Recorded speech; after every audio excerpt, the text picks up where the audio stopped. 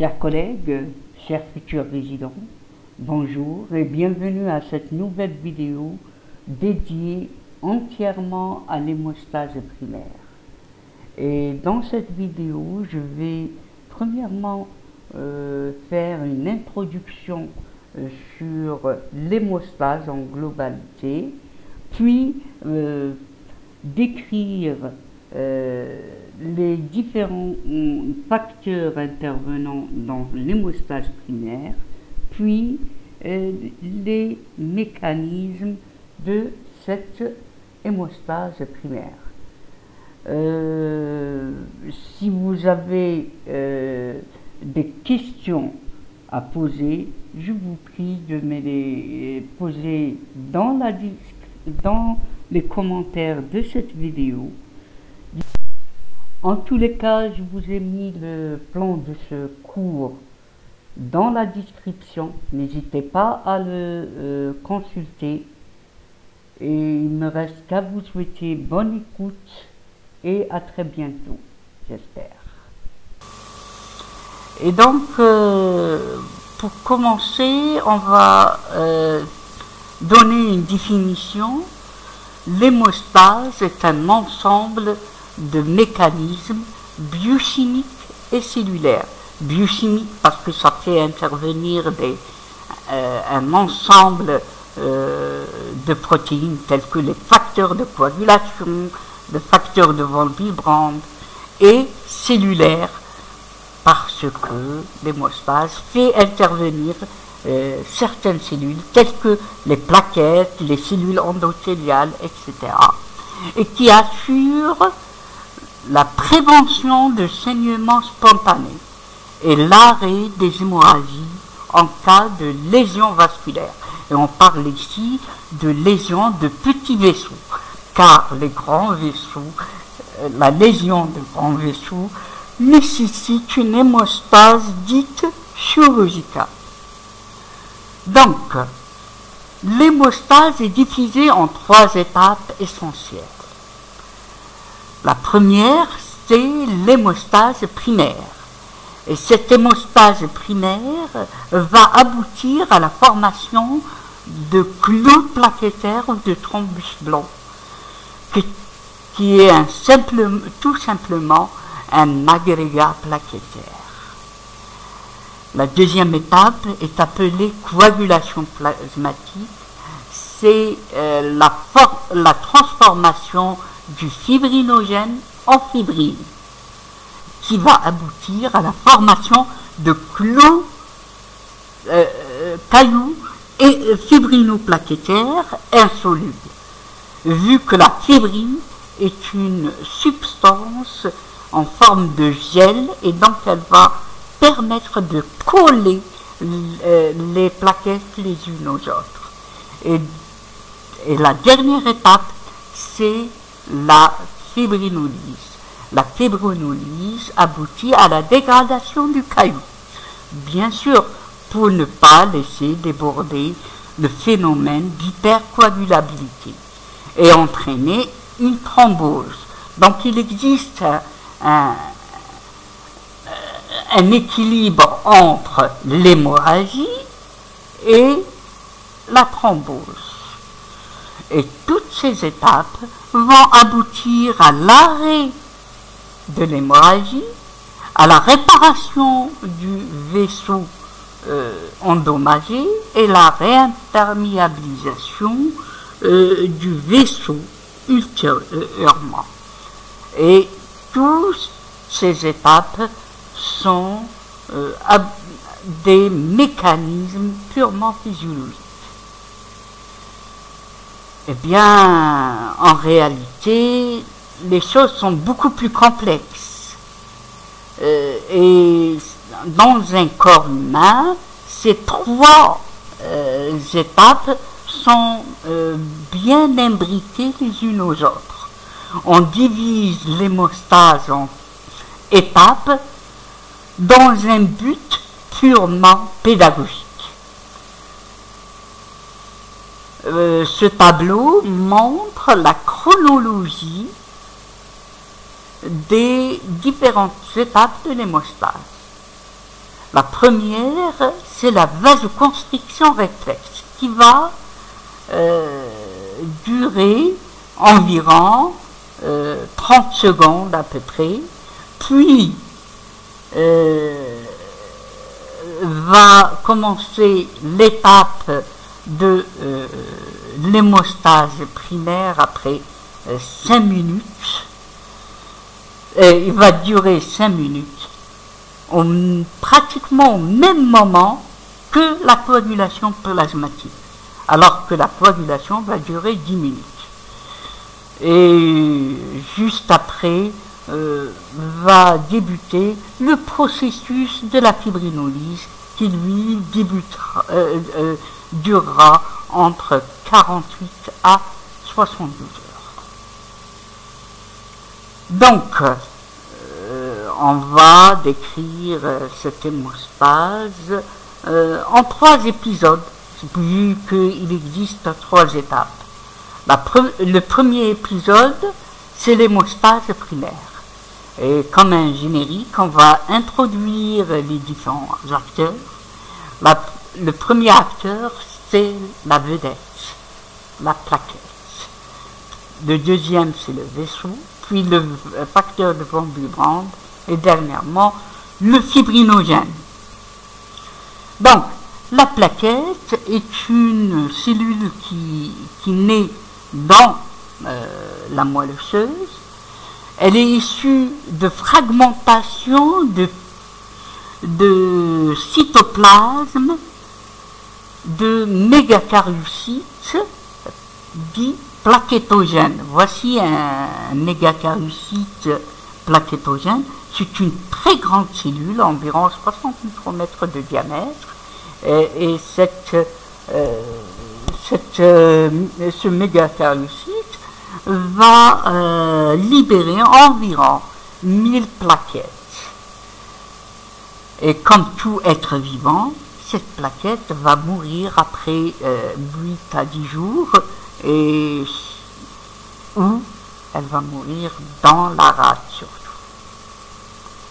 Voici ce qu'on peut voir sous un microscope électronique à balayage. Un, euh, un agrégat de, plaquettes, un amas de plaquettes. Les plaquettes sont des, des éléments sous forme de lentilles euh, euh, discoïdes, de 2 à 3 micromètres de diamètre, euh, de, diamètre et de 1 micromètre d'épaisseur.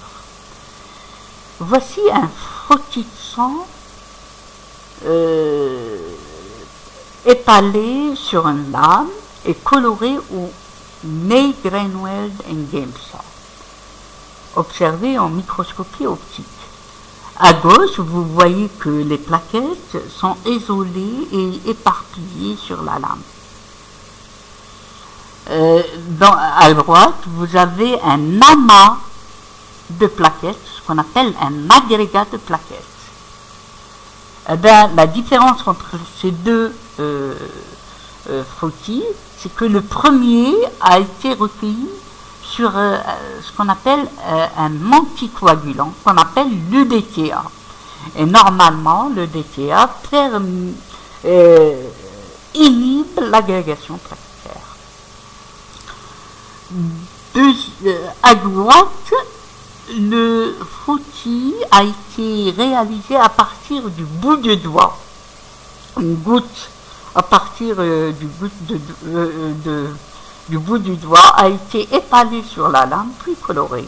Et, donc sans utilisation d'anticoagulants. Voici à quoi ressemble une plaquettes en microscopie électronique. Premièrement, la plaquette contient des mitochondries pour la respiration. Euh, oui. Euh, aussi des amas de glycogène comme source d'énergie. Des lysosomes, hein, des vacuoles euh, qui vont excréter des, enzymes protéolytiques les microtubules qui constituent euh, le cytosquelette de la plaquette. Et donc, ces microtubules permettent de maintenir la forme discoïde euh, de cette plaquette. Elle contient aussi des filaments d'actine qui, eux, sont euh, associés à des filaments de myosine. Et comme on le sait tous, les filaments d'actine et de myosine servent à la contraction cellulaire, bien sûr, la, euh, la plaquette, elle se contracte et elle se relâche. Euh, puis le système canaliculaire ouvert, qui, ce sont de simples invaginations dans la membrane cellulaire, ces invaginations augmentent euh, la, surface de contact avec le milieu extracellulaire. Le système tubulaire dense, qui est un, réservoir de calcium. Et on va le voir euh, dans ce cours, le calcium est un élément très important euh, dans l'hémostase. Enfin, les granules alpha et les granules euh, qui sont des éléments très importants dans l'hémostase primaire et ces granules alpha euh, contiennent entre autres de la est, euh, qui est, une substance qui intervient dans la contraction euh, de, de, la plaquette, le facteur 4 plaquettaire qui est un, un anti-épargne, le PDGF, le Platelet Differentiation and Growth Factor. C'est le facteur de différenciation et de prolifération des plaquettes. Et dernièrement, le facteur de Van Willebrand, euh, dont on va décrire euh, de manière plus détaillée dans le, ce cours juste après. Et après, euh, les granules denses contiennent de l'ATP, de l'ADP, comme source d'énergie encore. De la sérotonine. La sérotonine est une, euh, est une amine vasopressive. Elle permet de maintenir euh, la vasoconstriction réflexe. Et encore une fois, le calcium. Voici une membrane plaquettaire vue en microscopie, euh, microscopie électronique. Pardon. Cette euh, membrane plaquettaire est constituée d'une double couche de phospholipides, ce qu'on appelle la mosaïque euh, fluide. Cette double couche de phospholipides repose sur des microtubules. Vous vous rappelez, les microtubules servent à maintenir la forme euh, de, euh, de la plaquette, discoïde de la plaquette, et donc interviennent dans la formation du cytosquelette de la plaquette. L'acide sialique, qui est un précurseur de l'acide acétylsalicylate, et tapisse la surface de la plaquette. On sait que l'acide sialique est chargé négativement. Et lorsque deux plaquettes se rapprochent, elles vont automatiquement se repulser vu qu'elles ont la même charge. Les glycoprotéines plaquettaires. Cette membrane plaquettaire est transpercée par des glycoprotéines. Et dont la plus importante, c'est la glycoprotéine MB et la glycoprotéine 2B3A. la glycoprotéine MB sert à l'adhésion plaquettaire ou sous-endothélium lorsqu'il y a lésion euh, euh, vasculaire. Et donc, l'absence de glycoprotéine euh, MB va entraîner ce qu'on appelle la, la maladie de Bernard Soulier et qui se manifeste par un déficit en glycoprotéine MB et donc un défaut d'adhésion plaquettaire. La deuxième glycoprotéine, c'est la glycoprotéine 2B3A. Grâce à cette glycoprotéine, les plaquettes vont s'agréger les unes aux autres et donc c'est l'agrégation plaquettaire.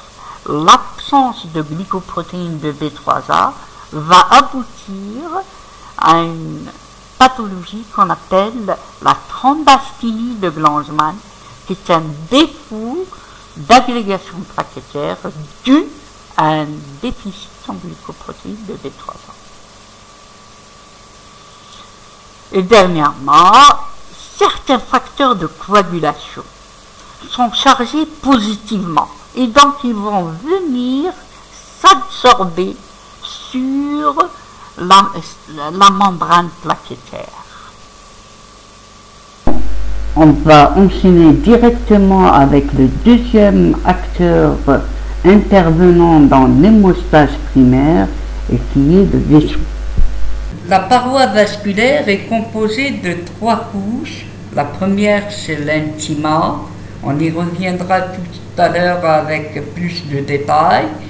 Euh, la média, qui est composée de fibres de collagène type 3, 5 et 1, les fibres élastiques et des cellules musculaires lisses. Ces fibres élastiques et musculaires les cellules musculaires lisses sont des, euh, des éléments intervenant dans la contractilité du vaisseau et donc aboutissent à la euh, vasoconstriction réflexe, qui est le premier phénomène de l'hémostase primaire.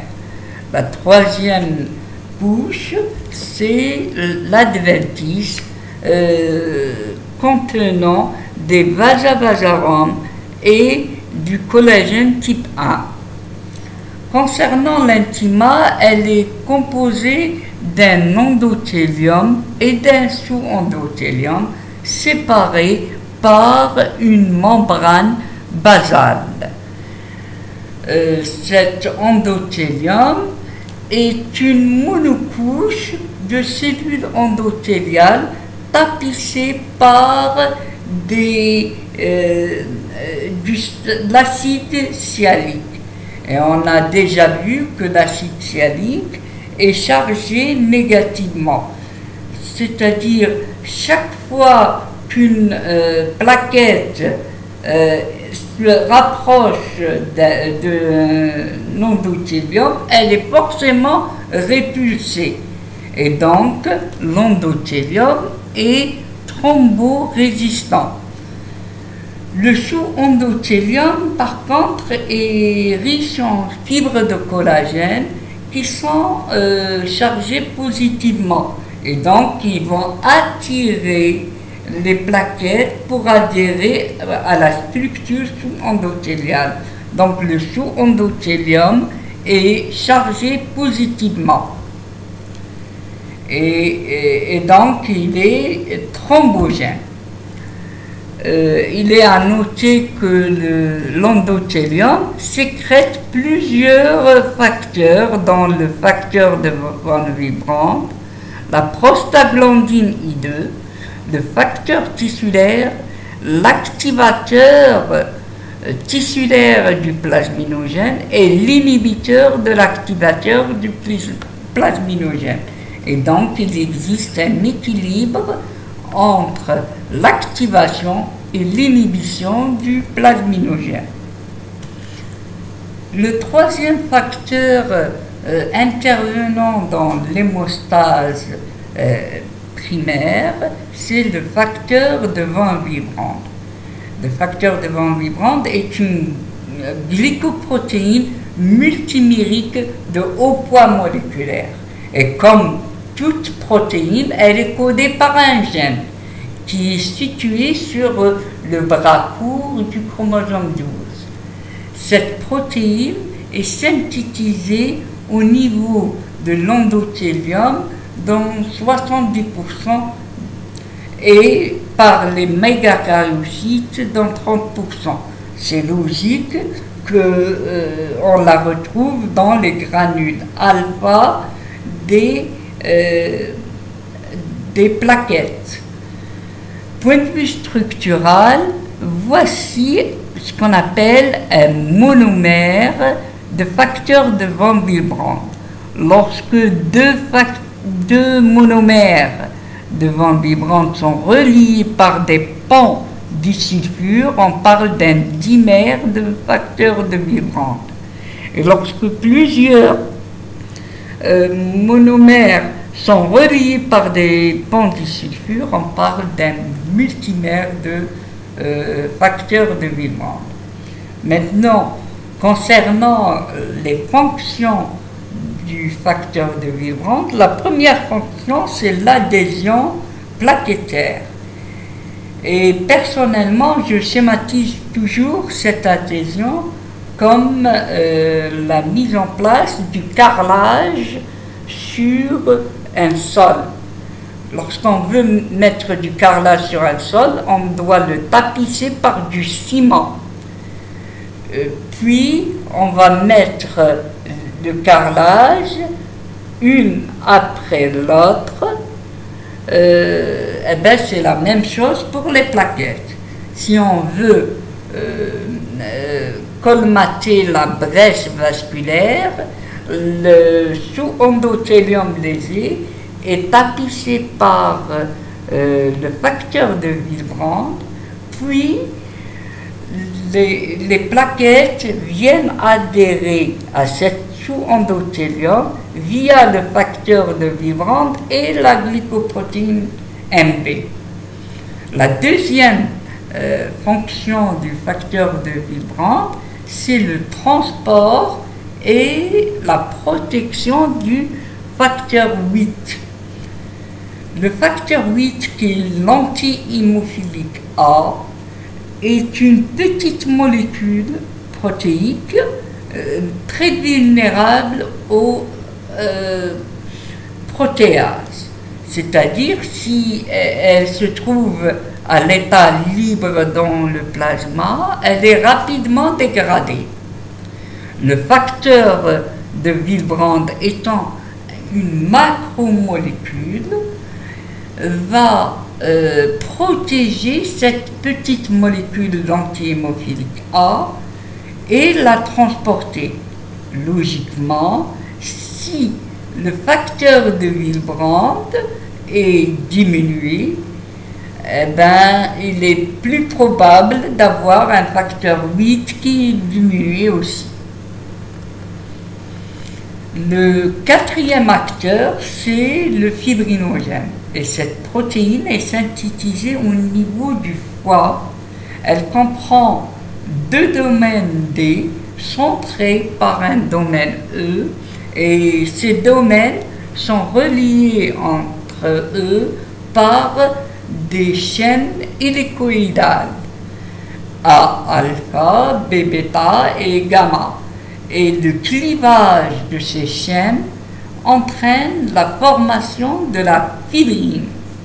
La fibrine étant un gel euh, ou une colle qui va euh, maintenir le caillou fibrino-plaquettaire soudé et irréversible.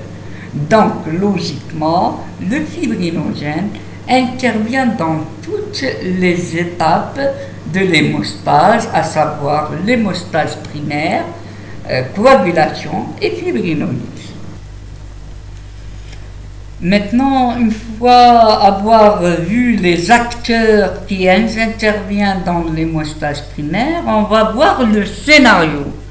Le scénario, c'est-à-dire le, les phénomènes qui vont survenir lors de euh, l'hémostase primaire. À T0, lorsque une brèche vasculaire est, est produite, l'endothélium est lésé et le sous-endothélium est mis à nu. Euh, et donc, la, première réaction qui survient, c'est la vasoconstriction réflexe, euh, qui sera maintenue grâce à la sérotonine euh, contenue dans les granules denses des plaquettes. Cette vasoconstriction euh, a pour but de diminuer le débit sanguin et de marginaliser les plaquettes. Cette vasoconstriction dure environ 30 secondes à une minute. Après, euh, les plaquettes vont adhérer au sous-endothélium via le facteur de Van Vivant le facteur de Van Wierbrand va constituer le ciment, comme on l'a décrit tout à l'heure. Il va tapisser le sous-endothélium lésé et les plaquettes vont adhérer à ce, endothélium grâce à leur glycoprotéine euh, MB. Donc, euh, cette glycoprotéine MB, comme vous le voyez ici, elle est complexée avec une autre molécule, la glycoprotéine 9, dont la fonction n'est pas encore bien élucidée jusqu'à présent. Voilà, euh, l'adhésion plaquettaire va aboutir à une formation d'une monocouche de plaquettes adhérées au sous-endothélium une fois l'adhésion euh, euh, complétée, les plaquettes vont subir une activation. Au début, leur forme discoïde va se transformer en une forme sphérique. Puis ils vont émettre des pseudopodes, euh, puis s'étaler et se contracter. Et en se contractant, ils vont libérer leur contenu en granules alpha et granules denses. Cette activation n'est pas seulement morphologique, elle est aussi biochimique. Eh bien, les phospholipides euh, situés sur la membrane des plaquettes et les phospholipides situés sur la membrane des euh, cellules endothéliales vont subir certaines modifications biochimiques. Les phospholipides plaquettaires et vasculaires vont se transformer en acide arachidonique grâce à la phospholipase A2. Puis, l'acide arachidonique va se transformer en endoperoxyde cyclique euh, grâce à la cyclooxygénase. L'endoperoxyde cyclique va se transformer en prostaglandine D2 et E2. Et c'est ici que euh, ça, va différer. La prostaglandine plaquettaire va se transformer en thromboxane A2 alors que la prostaglandine vasculaire va se transformer en prostacycline I2. Alors, la thromboxane A2 est un puissant agent agrégant et vasoconstricteur. Par contre, la prostacycline I2 est, un, puissant inhibiteur de l'agrégation et un vasodilatateur. En fait, il y a un équilibre entre l'effet agrégant et l'effet anti-agrégant des plaquettes. Revenons un petit peu sur euh, la cyclooxygénase. Euh, l'acide acétylsalicylate ou l'aspirine inhibe l'action de la cyclooxygénase plaquettaire. Et donc euh, le thromboxane A2 n'est pas euh, produit. Et donc l'effet agrégant est supprimé. Et l'effet anti-agrégant est, euh, est maintenu. Donc la, les phospholipides vasculaires vont se transformer en, en inhibiteur de l'agrégation. Par contre, les phospholipides plaquettaires ne vont pas être transformés en transboxane A2. Maintenant, euh, voici ce qui se passe euh, lors de l'agrégation plaquettaire. Le fibrinogène va s'intercaler entre les glycoprotéines de B3A via le calcium. Et ça, c'est en présence du calcium. Et donc, plusieurs plaquettes peuvent s'agréger ensemble grâce à leur glycoprotéine de B3A et le fibrinogène. Au bout de 3 à, 4, 3 euh, 5 minutes, euh, il y a euh, le clou plaquettaire qui se forme. Ce clou plaquettaire est dit instable car il peut se dissoudre à n'importe quel moment. Et donc, il faut euh, une rétraction du caillou grâce au fibrinogène qui va solidifier ce, bouchon hémostatique et donc éviter la dissolution du caillou. Le fibrinogène après, il va se transformer en une fibrine qui, est euh, une colle, mais ça c'est le, deuxième épisode euh, qu'on va euh, traiter dans notre prochaine vidéo. Je vous remercie pour votre attention, mais avant de, partir, je vous prie de s'abonner, de aimer et enfin de partager. Je vous remercie.